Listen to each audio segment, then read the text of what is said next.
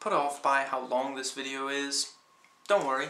I tend to jam-pack my videos with as much content, as many details as I possibly can, and I try to talk pretty fast. So while the video is a bit on the long side, I don't repeat myself, and I get into a lot of details about the subject that you know, pretty much anything that I feel I can comment on and that I think you might find interesting. But hey, if the video is just too long for you to watch, chances are I recorded a shorter version and the link will be in the description box. It's not an inferior video, it's merely a Cliff's Notes version of this very video. Drag Me to Hell, unrated edition, I believe, movie review. Christine Brown approves loans in a bank and she has a pretty nice life. She might get a promotion. Her boyfriend, I'm pretty sure they're just dating. Uh, well, he's the Mac guy, and that's kind of cool. And yeah, it, things seem to be going well. But then one day, she has to process the the case of a gypsy woman who wants a third extension or mortgage, whatever, something. And because she is fighting hard for the promotion, Christine decides not to give her. And for some reason, the movie really wants us to think that that was a horrible thing to do, even though I understand that it's actually really rare that it would be done. And it is, you know, it's it's a bank. It's other people's money that should be. So it's, yeah. I, I don't know. I guess it's just the simple-minded, lowest common denominator idea of what a bank is. they takes your money. I guess we should just be really grateful that Christine isn't a hook-nosed Jew. Anyway, the gypsy lady takes it surprisingly well. She curses Christine, giving her three days to be like teased by this evil spirit or something, and at the end of that, yeah, the, the title. And yeah, that's that's the plot basically. And Christine now has to find out the terms and conditions of this particular curse. I, I do really appreciate that she got three days. Although the movie would have been shorter if it was just like one day or just until the yeah, un until night broke, and that would really have been nice, but it does give them some time to, yeah, do freaky stuff with spirits, so, and, yeah, gives Christine time to try to deal with the spirit as the audience realizes that they could be watching The Ring instead, which has similar, you know, basic concept, uh, or even thinner. At least that has Joe Mantegna, and he's just awesome. Anyway, it has been said that this is basically as close as we'll get to Evil Dead 4, which I just think is really, really depressing. Raimi's long-awaited return to horror has been really positively received by many and really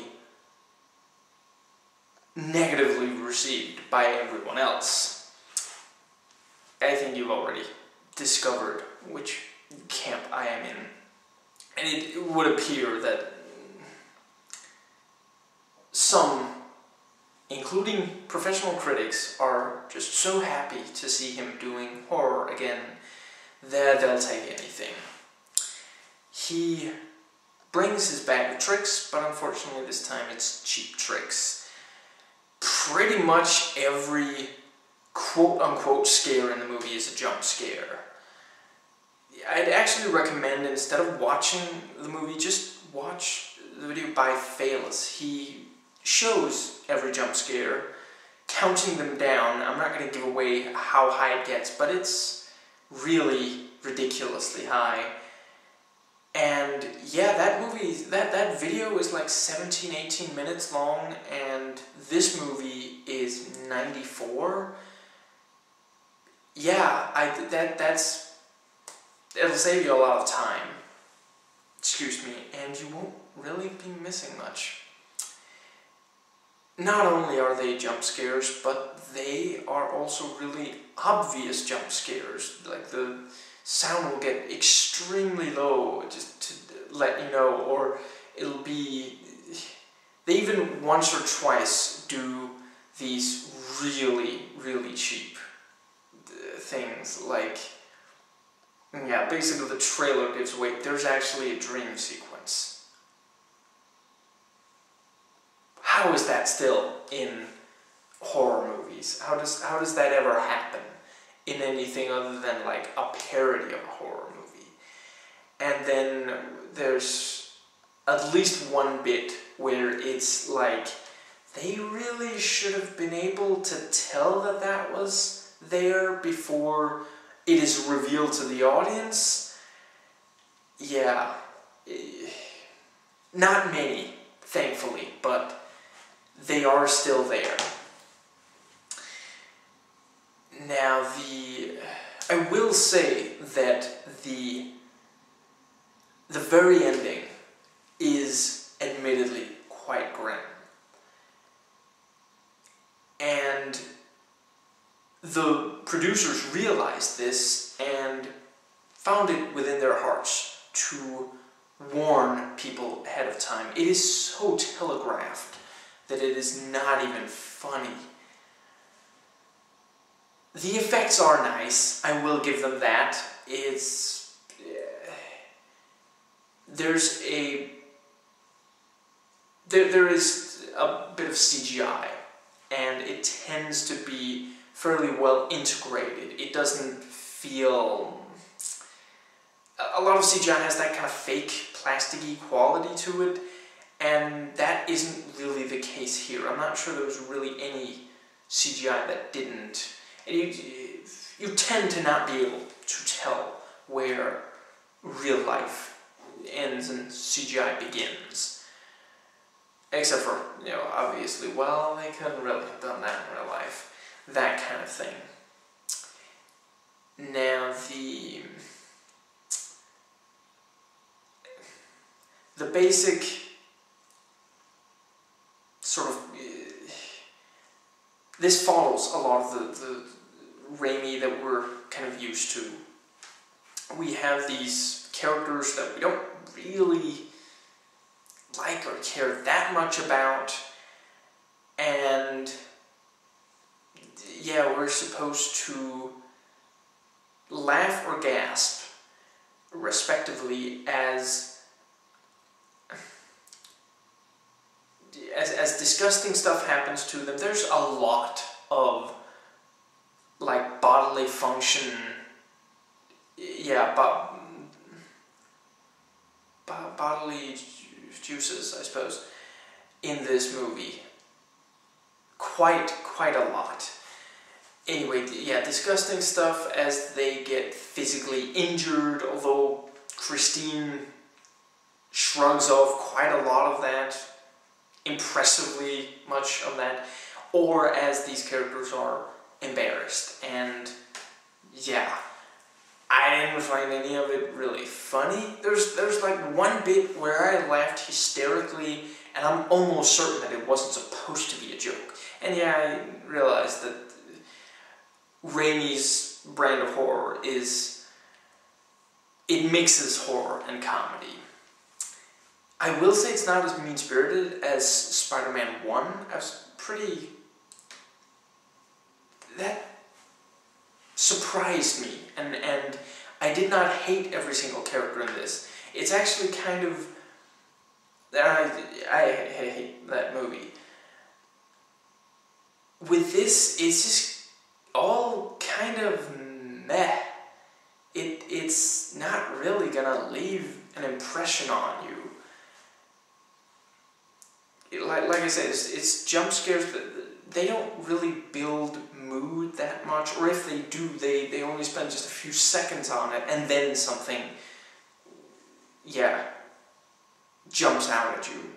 And by the way, the scares, I can understand how this maybe played well in the theater, where there was, you know,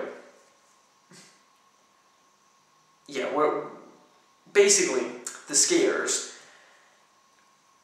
are they crank the volume and then just have these noises or just loud loud sound and that's supposed to be scary.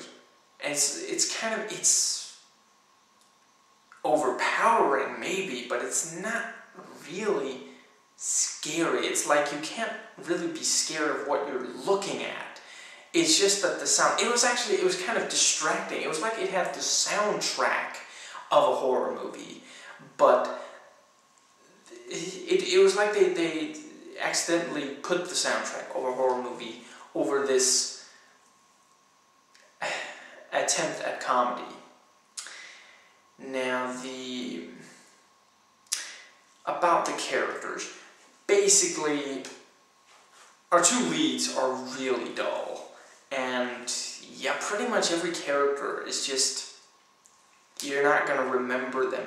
They actually even put in, like there's this, this one guy that Christine is competing with for the promotion. And he's just kind of a weasel. And it's basically, it's the Ted Raimi role it's it's the role Ted Raimi plays every time he appears in something by by Sam. That's that's it's it's Joxer or the, the yeah the guy from the Spider-Man movies. Yeah, just and yeah, it's it was it was actually kind of distracting. I kept imagining that it was actually him that that he maybe that's the real where the, where the supernatural comes into it. Maybe that guy was actually possessed by Ted Raimi. Yeah. Anyway, the the the characters are just not memorable, not not interesting at all. It's really clear that Raimi really just wants to chuck bodily fluids at these people or throw them into a wall or something. And that's, that's all well and good. That's, that's what he wants to do. But he, then he tries to have his cake and eat it too by actually trying to capitalize on the sympathy that is supposed to be there for these characters. And it just falls completely flat on its face. Now, the the tone is tongue-in-cheek as expected. There's there's this early bit where basically the, the thing that is supposed to kind of creep us out and such is this fly and it it flies right past the camera a couple of times and each time we hear it buzzing and the camera is I think it's pretty much completely static and after a little while it actually lands on the camera lens, sort of drawing attention to, hey, it's it's flying around like this for the benefit of the camera, for the benefit of the audience. So yeah, now it's just gonna land on. Clearly, clearly the camera actually exists in the world that this is taking place. So let's just have the fly land on its lens. Yeah, I didn't think it was particularly clever either, but there you go. That's an example that gives you an idea. Now, the... I like Justin Long. I, I really do. I love him in Galaxy Quest. I don't know why he was so boring here. Actually, I guess it's it's the writing. It's the clearly doesn't give a crap about these characters' writing. And it's it's really they actually do try to remind you. No, no, no. He's not actually the Mac guy in this because when we first meet him, he's having trouble fixing his printer. So clearly he can't be the Mac guy. Although Christine has a Mac, and he has a smartphone, and the movie wants you to go buy one. I think that's pretty much everything I have. Just, I don't know, I didn't hate it, I guess, but it's just an hour and a half of nothing. It, it, it doesn't really work, is basically the conclusion. Please rate and comment, and hey, if you like this video, that subscribe button's just waiting for you to click it.